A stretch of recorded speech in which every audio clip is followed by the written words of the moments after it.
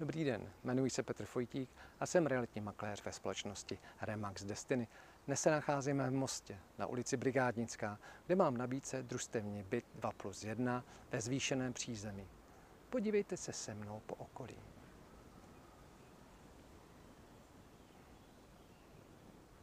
Slyšíte ten klid? Vidíte tu zeleň? Pokud se vám tady líbí a chcete tady bydlet, zavolejte mi na telefonní číslo 703 33 15 32. Přeji vám krásný den. Naschledanou.